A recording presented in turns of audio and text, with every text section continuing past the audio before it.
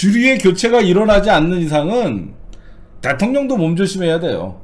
어? 너, 여러분들 노무현 대통령 서거일이 내일 모레죠. 5월 23일이죠. 노무현 대통령이 왜 서거했는지 생각해 보세요.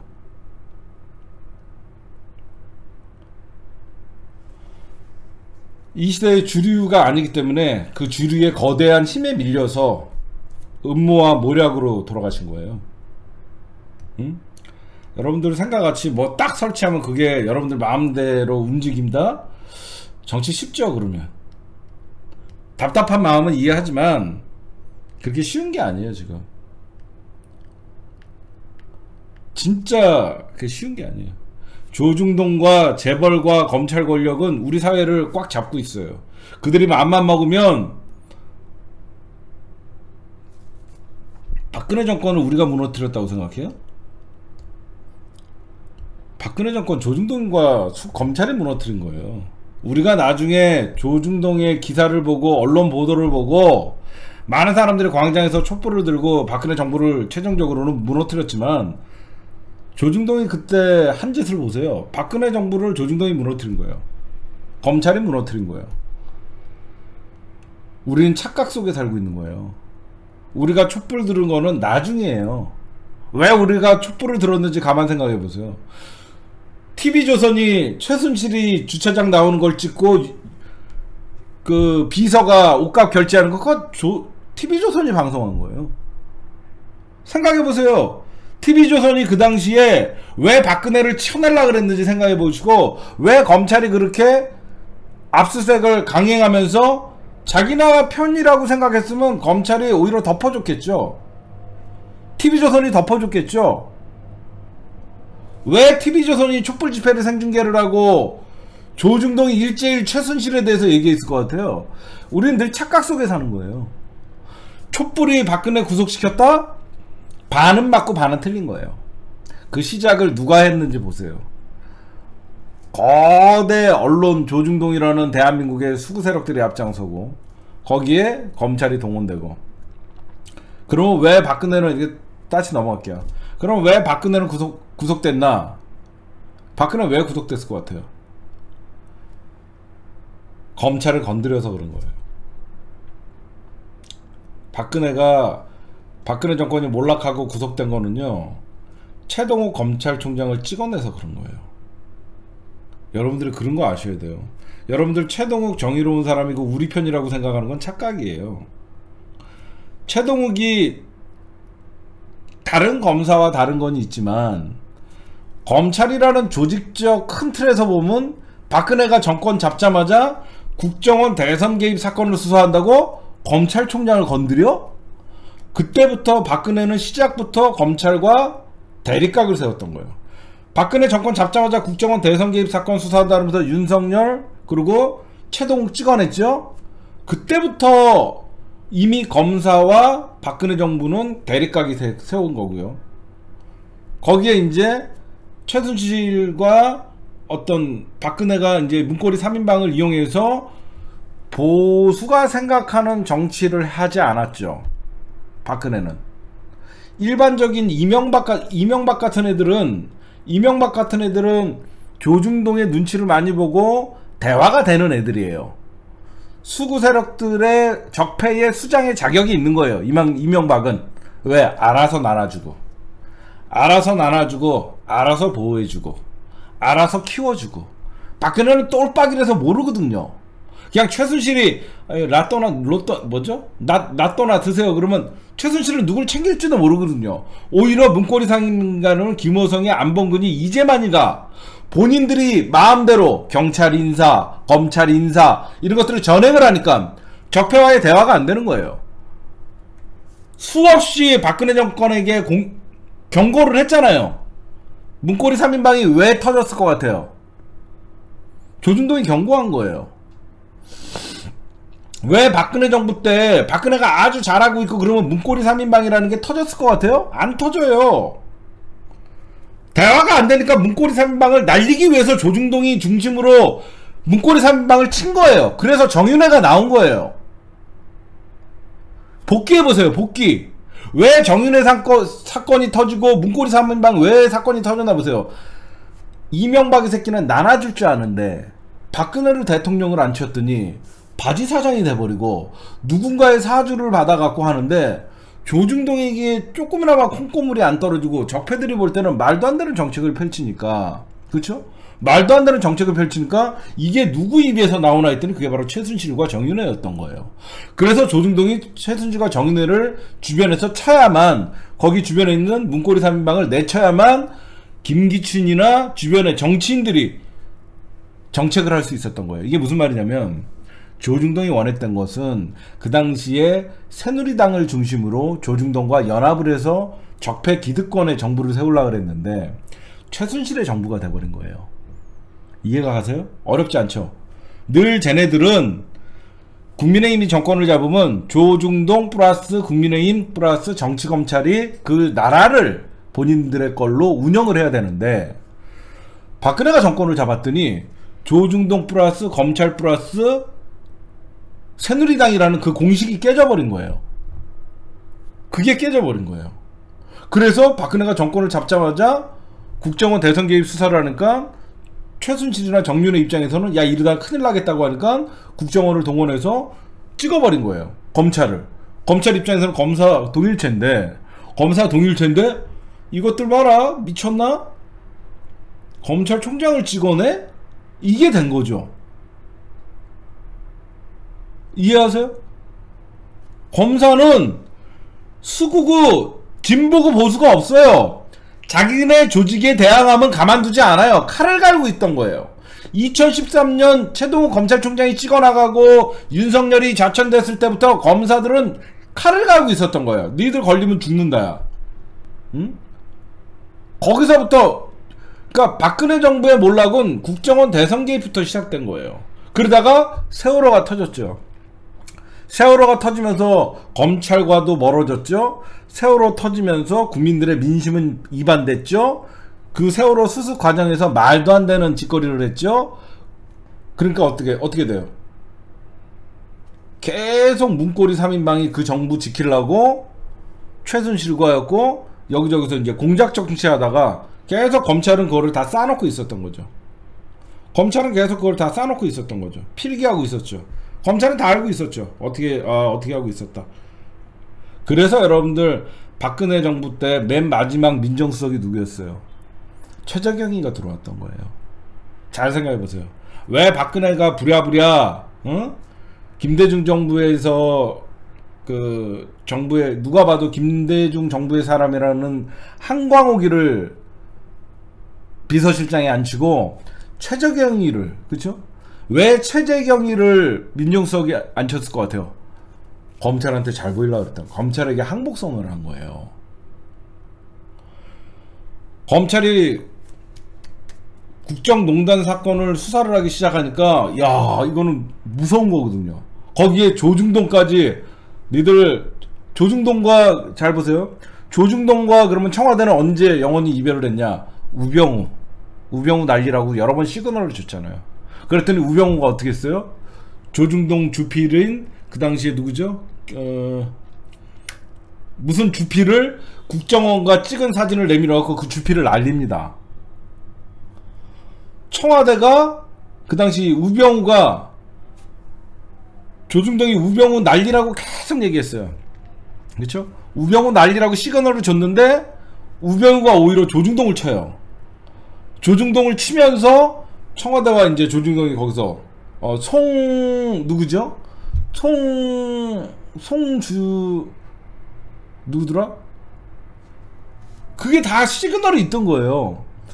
그래서 이미 조중동과 검찰도 아 쟤네들 우병우, 최순실, 문고리 3인방 대화가 안 되는 거예요. 송이영 주필, 어, 송이영 주필을 국정원에서 무슨 사진 찍었다 그러면 뇌물 엮였다 뭐 하면서 청와대가 국정원을 동원해서 찍어 누립니다. 그쵸? 송이영 주필 날렸어요. 그때부터 여러분들 어떻게 됐나 보세요. 끊임없이 조중동이 청와대와 대립각을 세우면서 거기서부터 거야. 검찰과 멀어졌죠? 언론과 멀어졌죠. 청와대가 고립되기 시작했던 거예요. 그때 문고리 3인방 JTBC에서 어떻게 됐죠? JTBC가 누구 거야? 누가 봐도 여러분들 그냥 중앙 거 아니야 중앙 거 어? 누가 봐도 JTBC가 손석기가 잠깐 손잡고 있을 때 어? 왜 그 당시에 잘 보세요 여러분들.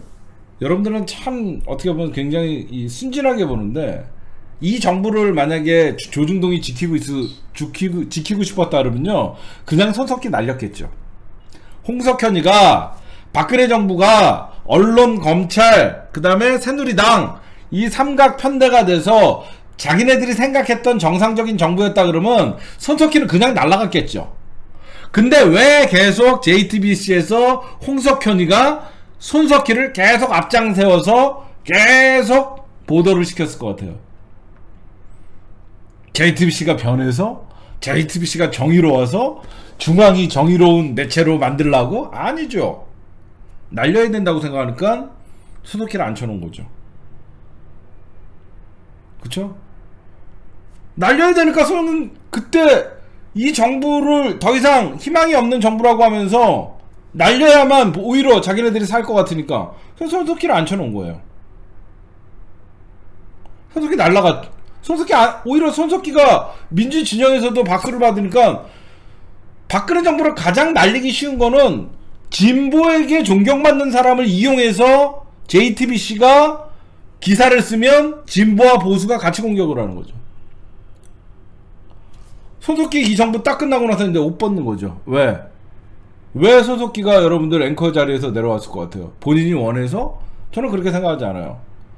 홍석현이가 생각했던 이용 가치는 거기까지니까. 손석희의 이용 가치는 박근혜 정부의 몰락까지였으니까. 내려오라 그러면서 앵커를 교체하는 거죠. 손석희가 만약에 앵커를 계속하면서 문재인 정부 들어서 계속 어 해서 문재인 정부를 잘하는 것들을 얘기해주고 저쪽을 비판한다 그러면 중앙이 아니죠. JTBC가 아니죠. 손석희를 이용해서 박근혜 정부에 찍어놨는데 1등 그래서 JTBC에서 태블릿 PC가 나오고 조중동이 그거에 합세해서 같이 까주고 손석희 임무는 거기까지였던 거예요. 홍석현이가 볼 때는. 그러니까 여러분들 촛불이 박근혜를 타랑했다? 반만 맞고 반은 틀린 거예요. 그때 지금같이 문재인 정부 까듯이 조중동이 힘을 합세해갖고 얼마든지 프레임 전환시킬 수 있었어요. 우리 너무 순진하게 살지 말아요. 조중동이 전면에 나서서 최순실이나 이런 국정농단 JTBC가 태블릿 PC 보도 안 했으면 끝이고 TV조선이 최순실의 비서를 통해서 옷가 그런 보도 안 하면 끝이야. 왜 그들이 보도했는지를 생각해야지. 소름 끼치는 거죠. 왜 태블릿 PC를 JTBC가 보도를 했고 중앙이 왜 TV조선에서 최순실을 미리 옛날부터 찍어놨던 지하 주차장에서 나오는 거를 보도를 하고 왜 옷값 결제하는 거를 하고 문고리 3인만의 행적을 왜 조중동이 그렇게 낱낱이 밝혔는지를 생각을 해야지. 우리를 자극한 거죠. 우리를 왜 자극했을 것 같아? 아, 이 정부는 검찰과도 끝났고 언론과도 끝났으니까 그냥 내려와야 된다. 그거였던 거예요. 응? 끝난 거였어요. 여러분들이 2016년 촛불 뜨거웠죠. 근데 그, 그 촛불이 왜 시작됐는지를 알면 저들이 기획한 거예요. 저들이 기획했고 결국은 설마 설마 하면서 어떻게 보면 저들은 박근혜에게 변하라 문고리 3인방 날려라 우병우 날려라 진짜 탄핵이 될지는 몰랐겠죠 그쵸? 진짜 탄핵이 될지 몰랐겠죠 거까지 갈지는 몰랐겠죠 제가 볼 때는 조중동이 탄핵까지는 생각하지 않았을 것 같아요 길들이라고 저는 개인적으로 얘기 말씀드리면 의석수가 탄핵 의석수가 아니었어요 그렇죠? 의석수가 탄핵 의석수가 아니었는데 조중동과 검찰이 세게 몰아붙였던 것은 박근혜를 식물 정부로 만들어 박근혜는 원래 식물이지만 박근혜를 아예 언론과 검찰과 그, 그, 거대한 적폐 프레임의 말을 듣는, 그러니까, 박근혜 주변에 최순실을 제거하고 정윤회를 제거하고 우병, 그, 우병우를 제거하고 문고리를 제거한 다음에 새누리당에서 사실상 박근혜 정부를 차지하게끔 하려 그랬던 거예요. 그래야지 잘 말이 통하니까. 그러니까 말 통하는 사람들로 청와대를 교체하려 그랬는데 그게 제대로 안 된 거죠. 최순실이라는 정치의 정자도 모르는 게 오기를 부린 거죠. 문고리 3인방에게 끝까지 누르, 누, 눌러라. 그렇죠? 문고리 3인방에게 끝까지 눌러라. 박근혜가 뭘 알아요? 여러분들 박근혜 아무것도 몰라요. 박근혜는 여러분들이 생각하는 것 같이 무슨 기무사가 무슨 일을 하고 아무것도 몰라요. 박근혜는. 다 안봉근 얘네들이 제가 볼 때는 이 모든 사단은요. 문고리 3인방과 최순실에 의해서 최순실도 아무것도 몰라요. 그냥 강남에 돈 있는 아줌마예요. 이 모든 것은 문고리 3인방의 안봉근, 이재만, 김호성이 어? 얘네들이 결국은 촛불이 세게 되면 계엄령을 동원한다. 왜 그러면 안봉근이가 경찰에 인사권을 주고 있었거든요. 그쵸? 저는 그래서 여러분들에게 말씀드리고 싶은 것은 아 정호성이 이 모든 게 박근혜가 날아가면 본인들이 죽는 사람들이 실세였던 거예요. 그렇게 하면 가장 이해가 빠르죠. 잘 생각해 보세요. 박근혜는 그냥 최순실 엔터테인먼트에서 키워낸 공주야. 제가 여러 번 옛날에 이걸 2016년에 방송을 했었어요. 박근혜라는 존재를 여러분들이 너무 과대평가하는데 그냥 어렸을 때부터 의전 받아가면서 최태민이라는 어떤 그 사람한테 정신적으로 빠져 있어갖고 얘는 언 재래시장에서 카드를 써야 되는지 현금을 써야 되는지 자체를 몰라요. 태어나서 본인이 빨래를 해서 자기가 빨래를 널어본 적도 없는 사람이에요. 그러니까 아무 그러니까 여러분들이 생각하는 일상의 사람의 생활 방식을 전혀 몰라요. 카드를 넣고 돈을 찾는 것도 몰라요, 이 사람은. 늘 비서가 옆에서 돈을 주고 그런 사람이에요. 그럼 잘 생각해보세요. 최순실 엔터테인먼트에서 세상 물정 아무것도 모르는 그러나 이 아이를 이용하면 엄청난 박정희를 이용해서 정치 권력을 잡을 수 있는 누군가 기획자가 있는 거죠. 기획자에 의해서 박근혜라는 엔터테인먼트의 아이돌을 키운 거죠. 아이돌을 키워서 매니저 세 매니저가 세 명을 붙여놓은 거죠. 그게 바로 문고리 3인방이죠. 철두철미하게 누구를 만났다, 뭐를 먹었다. 그래서 이 문고리 3인방을 통하지 않으면 이 아이돌을 만날 수를 못. 그 아이돌이 바로 박근혜인 거예요. 그렇죠? 그럼 여러분 생각해 보세요. 박근혜는 대통령 자리가 자기가 진짜 필요하고 안 필요하고 저는 그렇게 박근혜는 대통령 자리에 저는 연연했다고 생각하지 않아요. 저는 저는 박근혜는 대통령 자리에 연연했다고 생각하지 않아요. 박근혜가 없어지면 가장 피해를 받을 사람들이 모든 국정농단을 한 거죠. 그게 바로 문고리 3인방인 거예요. 그렇죠? 박근혜가 존재함으로써 자기네들의 권력을 휘둘렀던 사람들. 그 사람들과 박근혜와 조중동과 검찰이 맞선 게 아니에요. 정확히 얘기하면 박근혜와 검찰이 맞선 게 아니고 박근혜와 조중동이 맞선 게 아니에요. 박근혜를 지키고 있는 문고리 3인방과 최순실 정윤회가 맞선 거죠. 김기친도 바지예요. 그래서 이해가 가시죠? 박근혜가 있음으로써 권력을 행사할 수 있는 사람들이 조중동과 검찰과 맞선 거예요. 자기네 세상을 만들기 위해서. 그래서 끝까지 박근혜를 지키려고 했던 거죠. 박근혜가 머리가 있거나 조금이라도 정치적인 것을 펼칠 수 있었다 그러면 이렇게까지 안 만들었죠. 문고리 3인방은 조중동을 배려하는 게 없었죠. 검찰도 배려하는 게 없죠. 오히려 때려잡으려 그랬죠. 경찰 인사를 안봉근이가 하고 우병우를 통해서 민정수석이 검찰을 관리하고 그래서 민정수석의 우병우가 오랫동안 군림한 거예요. 그래서 우병우를 전폭적으로 문고리 3인방과 우병우가 하나는 경찰을 장악하고 하나는 검찰을 장악하고 그래서 검찰 라인에 갔더니 전부 우병우 라인이 검찰을 포진을 하고 이해가 가십니까? 그러다 보니까 검찰 안에서 우병우 라인에 대해서 이제 반감이 커졌고 결국 검찰이 우병우를 구속을 시키잖아요. 이해가요? 웬만하면 검찰 동일 검, 검사들 동일체를 해서 절대 구속시키지 않아요. 왜 우병우가 구속됐는지 보세요. 우병우가 구속된 것은 검찰과 대립각을 섰을 때 우병우가 그 권력을 민정수석을 통해서 검찰을 사유화시켰기 때문에 검찰들 입장에서는 최동욱을 찍어내고 윤석열을 찍어내고 이 새끼들 봐.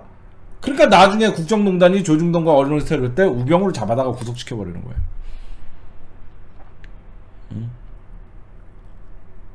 그러니까 여러분들이 이걸 보시면요. 우리 사회의 주류는 우리가 아니에요.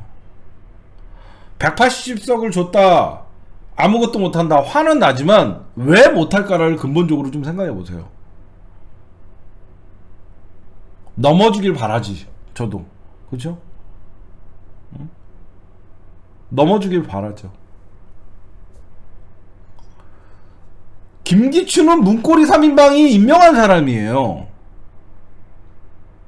여러분들 뭔가 착각을 하시는데 문고리 3인방이 김기춘을 비서실장에 앉힌 거지 박근혜가 마치 우리 아빠 때부터 같이 있었던 사람이니까 김기춘을 비서실장 하면 좋겠습니다.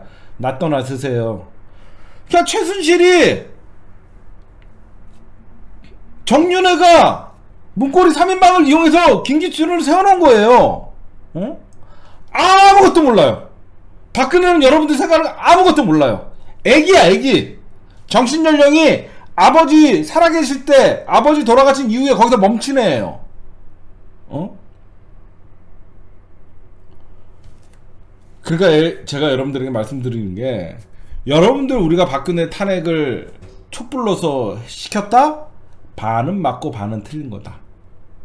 박근혜 정권의 몰락은 검찰과의 윤석 최동호 검찰총장 찍어내고 우병우 라인이 검찰 조직을 장악할 때부터 그 전에 있던 특수부 검사들이 벼르고 있었어서 2013년부터 검찰과는 이미 대립각이 세워졌고 그 이후에 칼 갈고 있던 검찰이 결국은 어 그러니까 여러분들 그, 어, 쉽게 정리를 해주면 적폐 세력들이 정권을 유지하는 거는요 조중동 플러스 검찰 플러스 정치인들이 하는 거예요. 그렇죠? 근데 여기까지는 맞았어요. 조중동 플러스 검찰은 여지까지도 잘 이어 지네끼리 잘 검언 유착을 하고 있어요. 플러스 새누리당의 정치인들이었는데 새누리당의 정치인들이 빠진 거예요. 여러분들 잘 생각해보세요. 박근혜 정부 때 정치인들 누구 보이는 거 봤어요? 그냥 전부 친박이냐 비박이냐에 따라서 박근혜 호위무삼은 공천받고 그 어떤 박근혜 정책의 결정적인 역할을 하는 정치인들이 안 보였죠. 안 보였잖아. 그냥 박근혜 정부는 최순실과 박근혜의 나라였어. 문고리 3인방의 나라였지 검찰, 언론, 기존에 있었던 새누리당이라는 수구 정치 세력들과 하는 정당이 아니었어요. 거기서부터 이제 검찰이 그리고 조중동이 생각할 때 야 이 정부는 말이 안 통한다. 왜 말이 안 통하냐? 뒤에 최순실이 있다. 뒤에 정윤회가 있다. 그래서 처음에 정윤회 사건이 터진 거고 그 다음에 문고리 3인방이 터진 거예요. 난리라고. 걔네 처음에 주변 정리를 하려고 터트렸더니 오히려 문고리 3인방이 그 터트렸던 언론과 그쪽을 향해서 공격을 하기 시작했다는 거예요. 그때 국정원을 동원한 거고. 이해가 가시죠, 이제? 응? 그거예요. 이렇게 이해해야지 왜 지금 어? 왜 지금 검찰과 언론과 국민의힘이 하나로 잘 뭉쳐서 싸우는지 이해가 가요? 나중에는 어땠냐? 야 정권 뺏겨도 좋아. 박근혜가 딱 탄핵되는 순간 야 정권이 이렇게 된 거 왜 저것들이 계속 정권을 잡으면 안 되니까.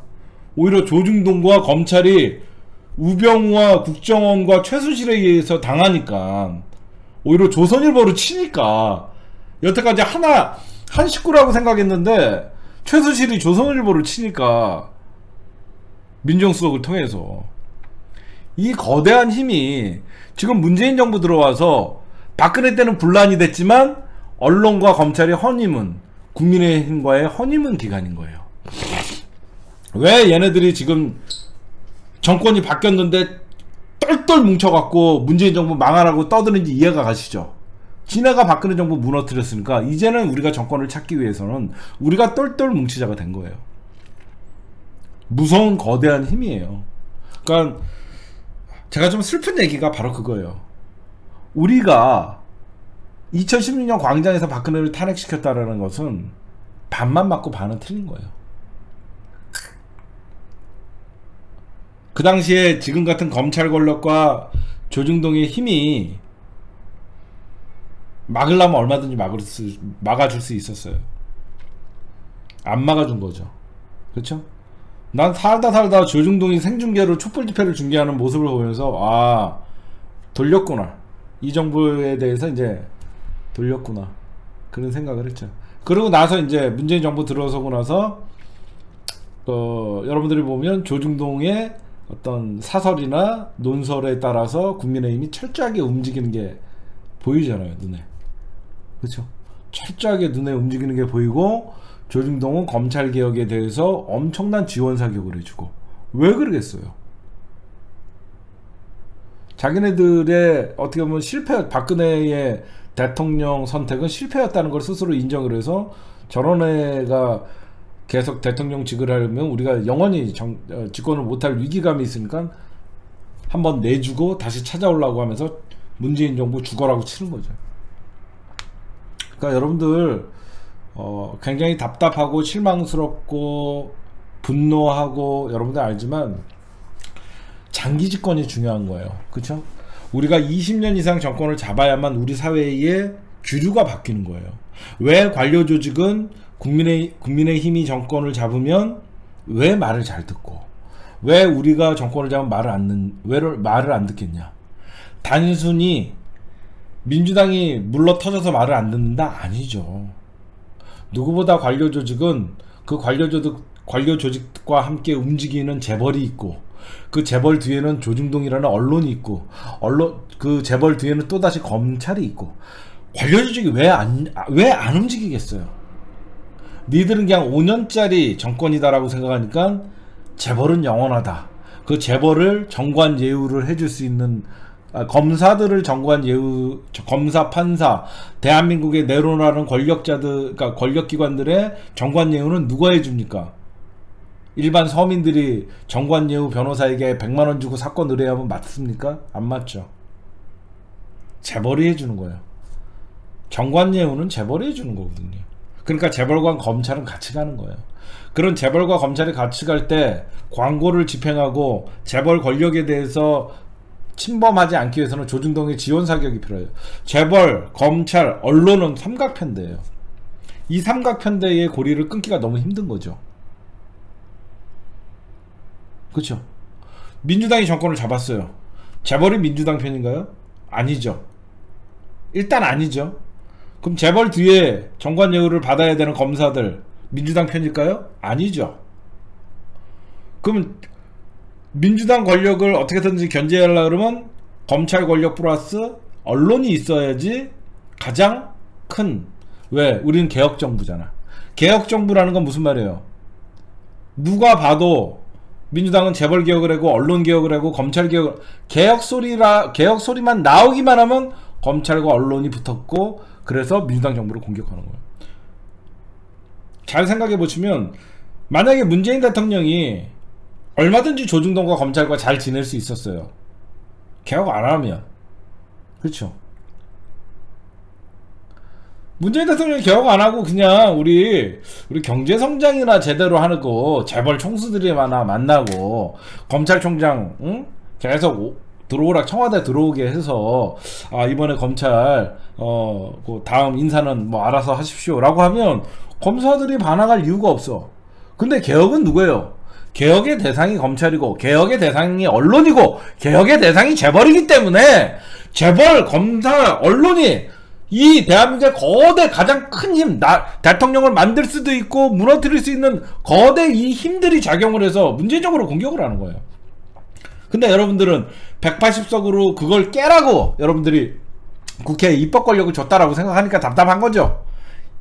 국회의원들도 쫄아요. 여러분들 생각하는 거 같이 그렇게 호락호락하지가 않아요. 노무현 대통령이 왜 죽음으로 몰렸는지를 가만 생각해 보세요. 대통령 권한을 가지고 있어도 언론과 검찰이 얼마든지 전직 대통령 하나 죽이는 건 일도 아니었던 거예요.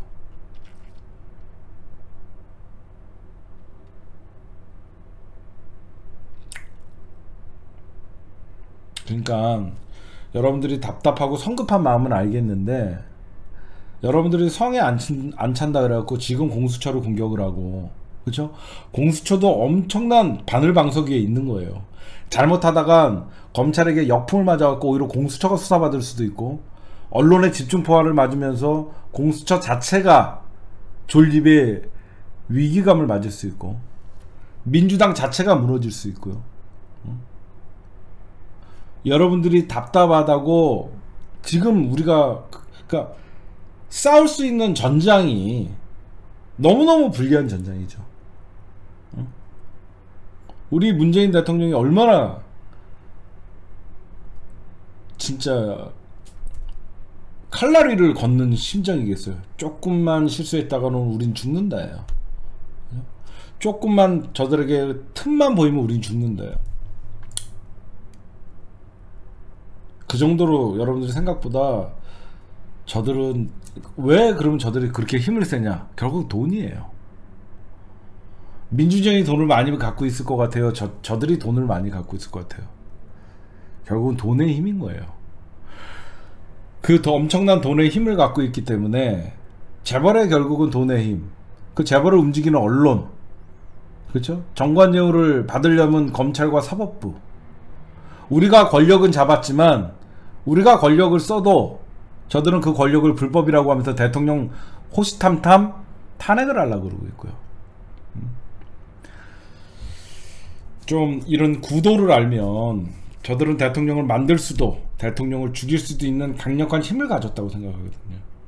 그래서 여러분들이 조금 어, 과속을 하고 싶지만 때로는 브레이크를 잡고 뒤를 한번 돌아보고 내가 뒤 도, 걸어온 길들이 달려온 길이 조금이나마 저들에게 나중에 흠잡힐 일은 없나 그런 것도 생각하는 게 지금 문재인 대통령의 마음이라고 생각해요. 음. 그러니까 공수처를 좀 지켜보고 민주당도 할 수 있는 건 다 할 수 있게 우리가 옆에서 촛불을 들고 비판을 하되 민주당을 죽이면 안 된다는 말이 제가 그 얘기를 하는 거예요. 어. 네. 하여튼 요런 2016년 이후에 일어난 일을 나같이 솔직하게 얘기해 주는 사람은 별로 없을 거예요. 다들 그냥 촛불이 무너뜨렸다고 생각하는데 그건 우리 순진한 민중을 속이는 거죠. 어. 2016년 촛불에 도와서는 조중동이 일으킨 거예요. 검찰이 일으킨 거예요. 거기에 물론 반은 맞고 반은 틀린 거예요. 그러니까 여러분들이 생각하실 때 그렇죠. 네, 여러분들 제가 방송에서 몇 번 얘기한 적이 있는데 우리 민주진영에서 왜 이재명 지사의 지지율이 높은지를 생각해 보세요. 이재명 지사의 지지율이 높은 이유.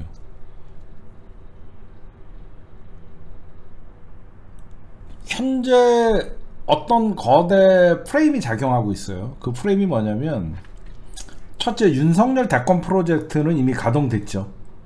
그렇죠? 윤석열 대권 프로그램은 자, 가동이 됐죠. 그러니까 많은 사람들이 이재명 하면 추진력 플러스 뭐 사이다 라고 얘기를 해요. 그럼 민주 진영 안에서 사이다 추진력은 민주 진영 안에서 나오는 소리예요. 이재명에 대해서 그건 뭐냐면 문재인 대통령이 어떻게 보면 노무현 대통령 서거하는 걸 옆에서 봤죠. 노무현 대통령이 어떻게 당하는 걸 누구보다도 지켜본 사람은 문재인이에요. 문재인은 조심조심 조심하면서 이 정권을 성공한 정권으로 만들 수밖에 없는 운명이에요. 여러분들이 문재인 답답하다고 얘기하는데 보시면 문재인 대통령은 개혁을 하나도 늦춘 게 없어요. 국정원 개혁 전광석화, 전광석화 같이 해냈죠. 가장 힘든 싸움을 하고 있는 게 바로 언론과 검찰이에요. 잘 생각해 보시면. 제가 옛날에 2017년 대선 때 뭐라고 얘기했냐면 이재명 지사를 엄청나게 비판을 했어요, 제가. 2017년 때.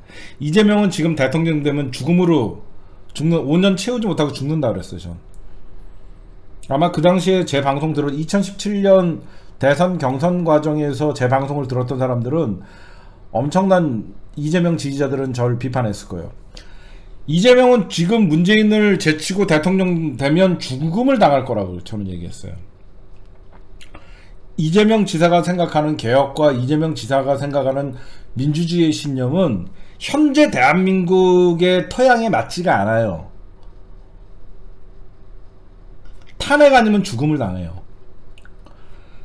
제가 이재명 지사님이 2017년에 오바를 할 때 대선 경선 토론할 때 문재인 대통령을 공격할 때 딱 한마디 했어요.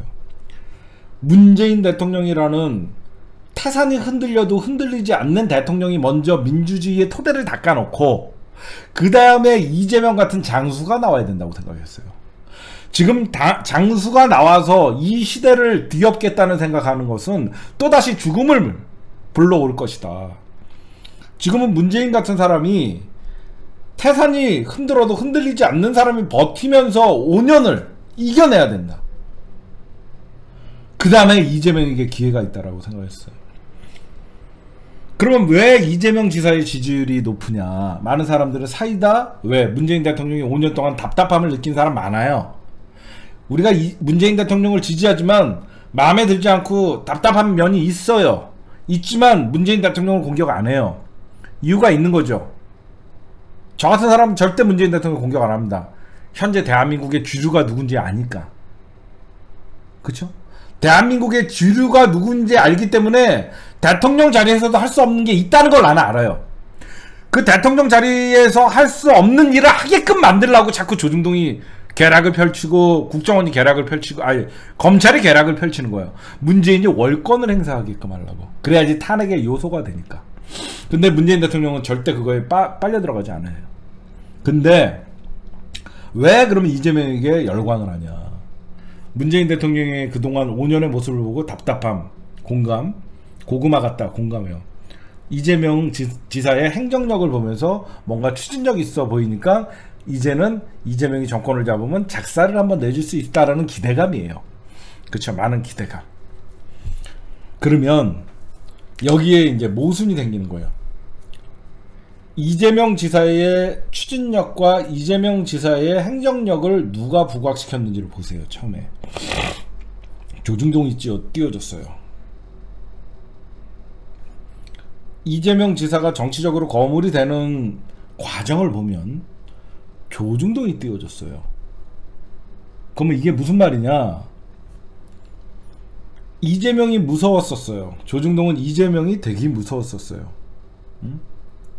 왜 조중동은 처음에 이재명이라는 정치인을 많이 띄워주냐? 문재인 대통령과 대립각을 만들어 놓은 거예요. 무슨 말씀인지 알아요? 문재인 대통령과 대립각을 만들면서 이재명 지사를 끊임없이 문재인 대통령 지지자로부터 공격을 받게 한 거예요. 이해가 가세요? 이재명 지사님이 문재인 대통령이 대립각을 그렇게 세운 것도 없는데 이재명 발언 한 말 한마디만 하면 대통령과 대립각 세우는 경기도지사 이런 식으로 계속 뛰어버린 거예요. 그래서 지금의 여러분들이 생각하는 똥파리나 이런 집단들이 이재명 지사를 마치 정권을 잡으면 문재인 대통령 뒤에 칼을 꽂을 거라고 만들어 놓은 거예요. 이해 가십니까? 이재명이 무섭기 때문에 이재명이 정권 잡으면 문재인에게 칼을 꽂을 것이다 라고 계속 그러니까 이재명 대 문재인의 구도를 조중동이 만들어 놓은 거예요. 이해 가세요? 문재인 대 이재명의 구도를 조중동이 만들어낸 프레임이에요, 여기에. 근데 어느 정도 되면 많은 사람들이 이재명은 아니다라고 생각을 하면서 민주당에서 죽을 거라고 생각했는데 엄청난 이간질을 한 거죠. 근데 왜 이재명 지사의 지지율이 올라가냐? 조중동이 그 만들어낸 프레임이 지금 조중동이 당하고 있는 거예요. 그렇죠? 조중동이 만들어낸 문재인과 이재명의 대립각이 지금은 그게 호재로 작용하는 거예요. 무슨 말이냐? 마치 이재명이 다음 대통령이 되면 정권 교체의 이미지가 생겨버린 거예요. 이낙연이 정권을 잡으면 문재인 정권의 연장선이라고 생각을 해요.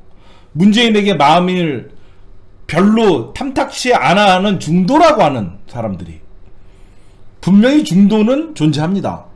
중도가 만약에 문재인, 조국, 이낙연 이러면 그냥 문재인 라인이라고 생각을 해요. 근데 이재명 하면 조중동이 대립각을 만들어 놓으면서 이재명이라는 사람을 문재인의 대립각을 만들어 놔서 이재명 지사가 민주당 후보로 대선 후보가 될 경우에는 아 이재명이 정권을 잡으면 또 다른 정권 교체라는 이미지가 있는 거예요. 그러다 보니까 이재명 지사의 지지율이 탄탄한 거죠.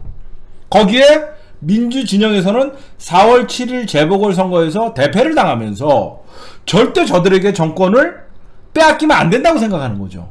안 된다는 생각에 위기감이 오다 보니까 과거에 이재명에게 곱지 않은 시선을 보냈던 사람들도 민주당의 후보로서 지켜야 된다는 생각이 돌아오는 거죠.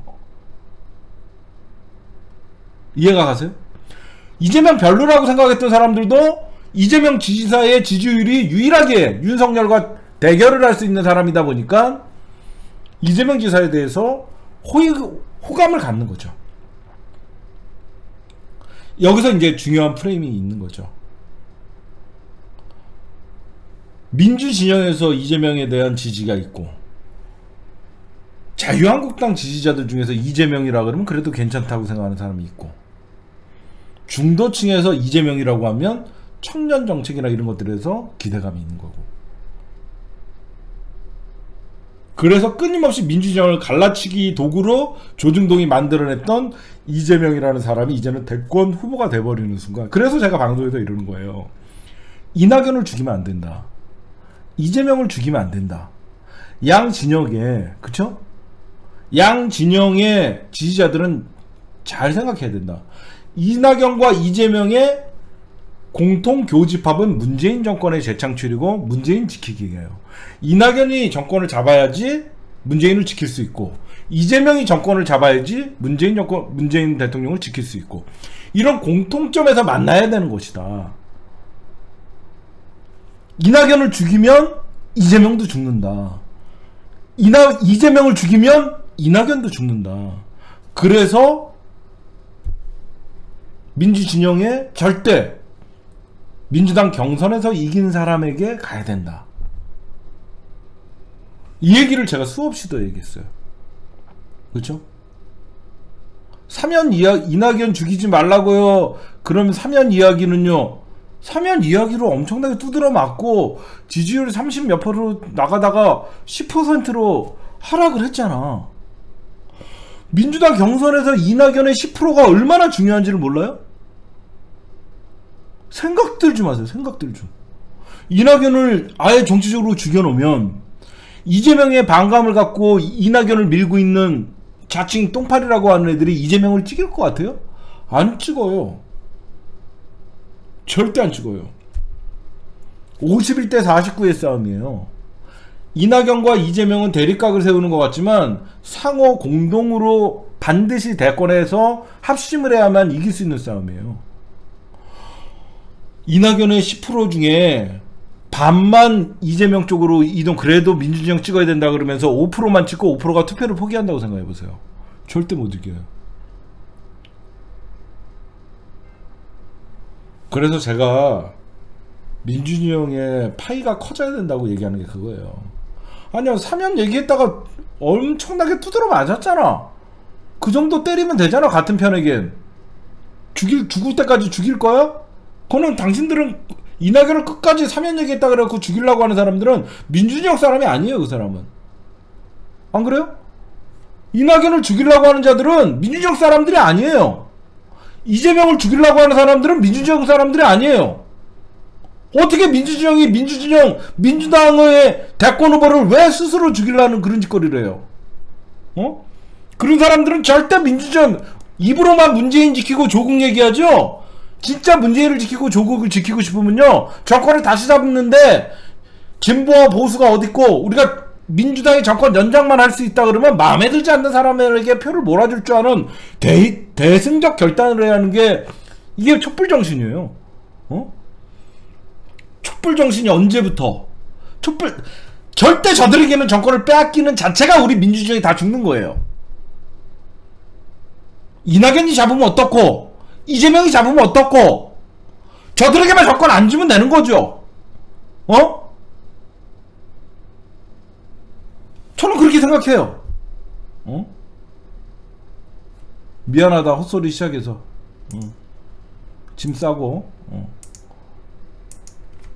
아니 저는 전 딴 거 없어요. 어, 우리 수연이도 집 사자. 어. 어. 절대 그러면 안 돼요. 응? 저는 이낙연이 정권 잡든 이재명이 정권 잡든 정세균이 정권 잡든 추미애가 잡든 저는 아무 상관없어요. 무조건 민주당 경선에서 이긴 사람이 제 DNA는 다시 이명 박근혜 시절로 돌아갈 수는 없다예요. 절대 돌아갈 수는 없어요. 자꾸 내격 내각제 헛소리들 하고 있는데 현재 대통령제 선거를 하는데 무슨 내각제 자꾸 이상한 소리를 해요. 말도 안 되는 소리 좀 하지 마시고. 어?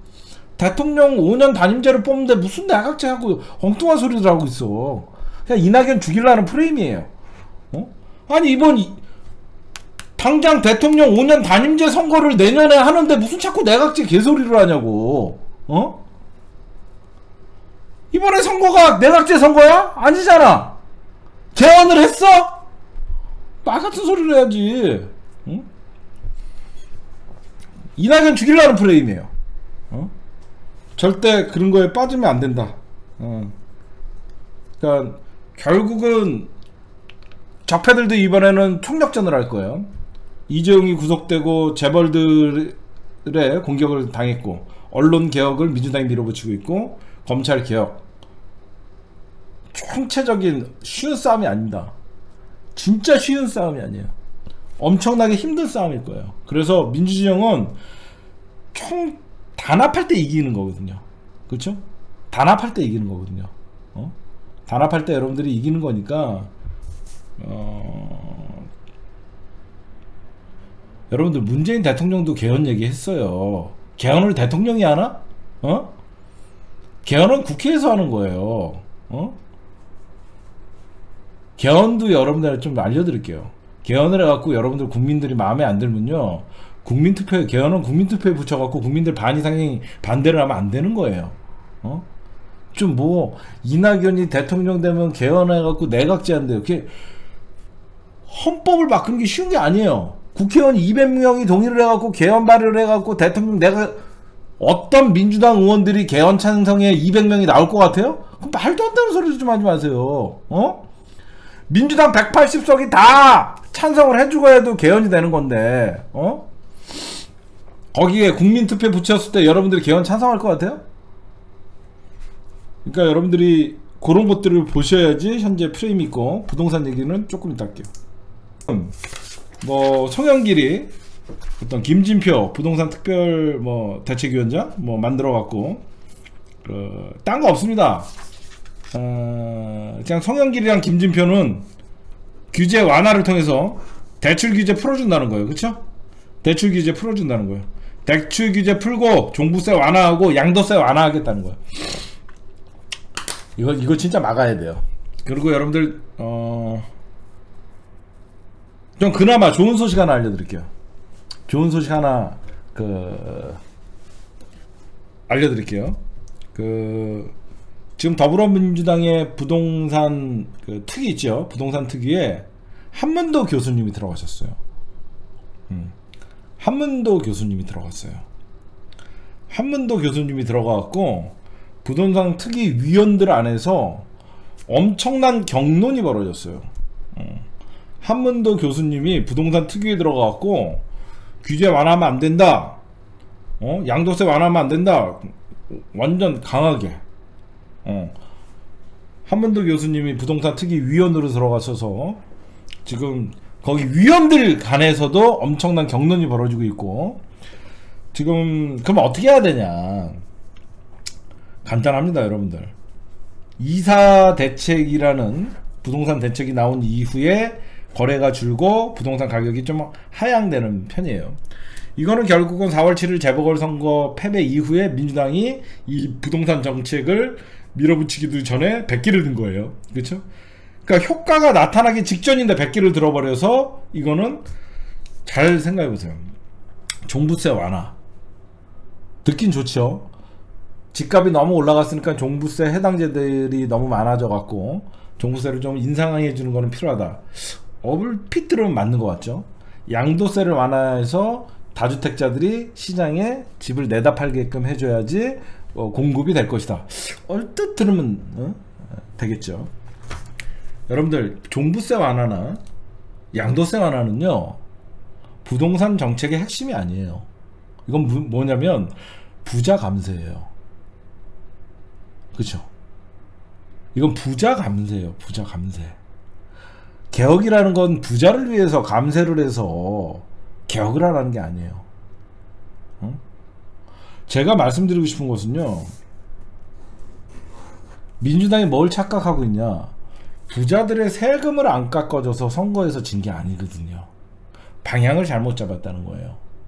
민주당이 이번 4월 7일 재보궐선거나 지금 대통령의 지지율이나 민주당의 지지율이 떨어진 게 부자들의 세금을 안 깎아줘서 민주당이 선거에서 패배했습니까? 방향을 잘못 잡은 거예요.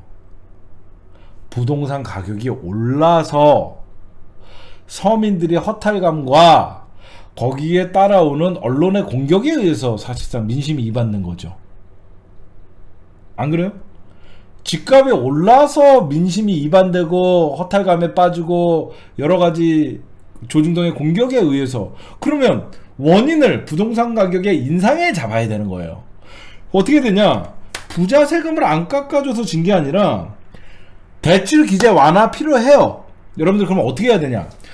송영길 같이 지금 뭐 10%나 7%가 있으면 집을 사게 해주겠다? 도박이에요, 도박. 송영길의 부동산 정책은요, 민주당이 영구 집권을 못하게 만드는 정책이에요. 그러면 어떻게 해야 되냐면, 먼저 집값을 잡아야죠. 집값의 거품을 뺀 다음에, 대출 규제 완화를 해줘야죠. 이해가, 이해가 가세요?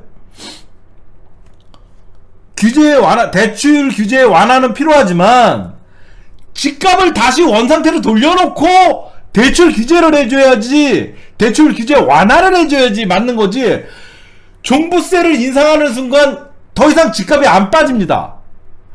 그냥 공시지가가 돼버리는 거예요.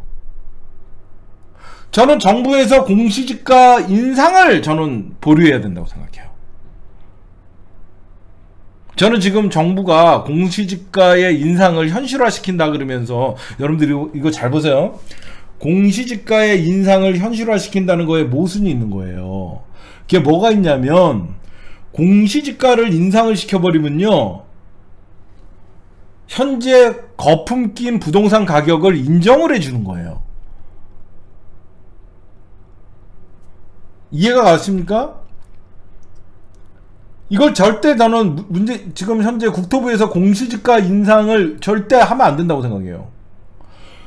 지금 만약에 강남에 뭐 타워, 타워 팰리스가 실거래 가격은 뭐 50억이다 만약에. 50억인데 공시지가가 현재 뭐 20억에 돼 있다. 그래서 실거래가 위주의 공시지가를 뭐 40억까지 올린다.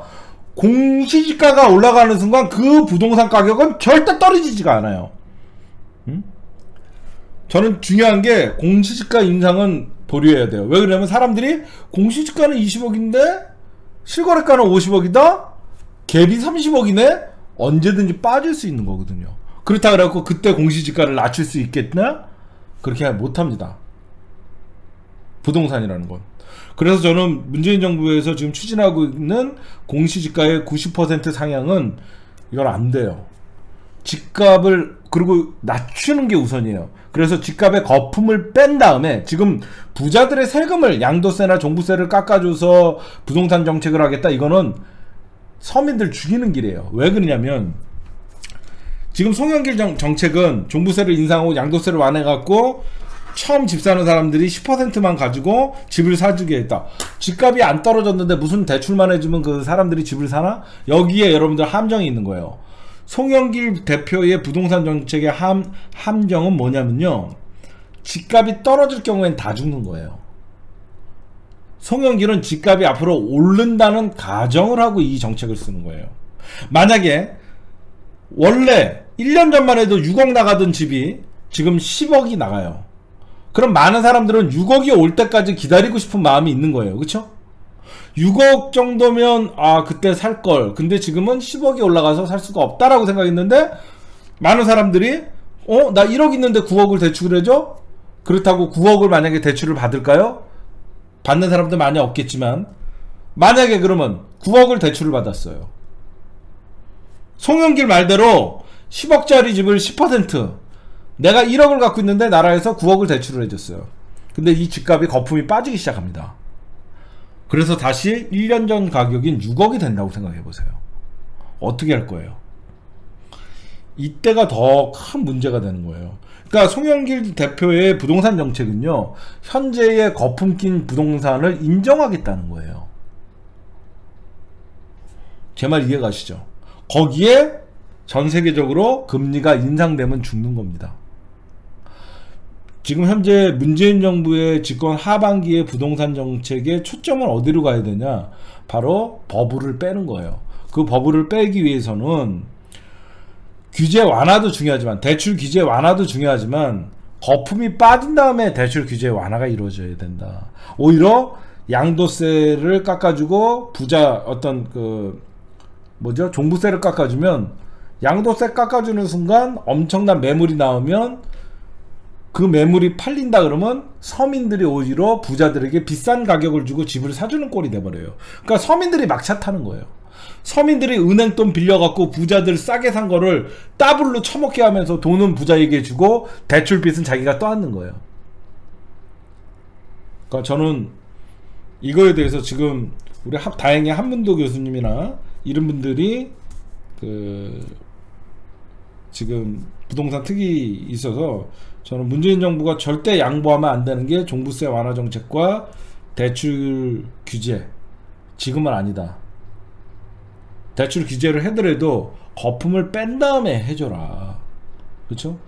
서민들이 오히려 막 차 타갖고 덤탱이 쓰고 지금 세계 경제가 다시 어, 상승하는 국면이기 때문에 미국이 금리를 올리면 당연히 우리도 금리를 올릴 수밖에 없고 이자에 대해서 오히려 굉장한 부담이 가게가 오게 되면 그 이자를 감당하지 못해서 오히려 내수는 죽게 되고 은행의 BIS 자기자본 비율도 은행의 부실화를 속도로 올릴 수 있다. 나라에서 정책적으로 대출 규제를 풀어버리는 순간 은행에서는 앉아서 돈 버니까 좋아하거든요. 왜 이, 박근혜 때 빛나서 집사라고 할 때 가장 호황을 누렸던 것은 금융업이에요. 왜? 대출을 받으려고 줄 서 있으니까. 대출 받으려고 줄 서 있으니까 그냥 앉아서 돈 버는 거예요. 어, 그냥 앉아서 서류만 끄적끄적 하면서 엄청난 돈을 벌었어요. 근데 지금 이렇게 버블이 끼었을 때 대출을 해주는 순간 은행도 위험해질 수 있다. 그래서 절대 민주당은 아무리 어떤 민심이 민심을 찾으려 그러면 부동산 거품을 빼내야지 민심이 빨리 돌아오지 대출을 많이 해준다라고 민심이 돌아오는 거 아니다. 오히려 서민들 막차 태워서 죽이는 길이다. 저는 그렇게 생각합니다. 예.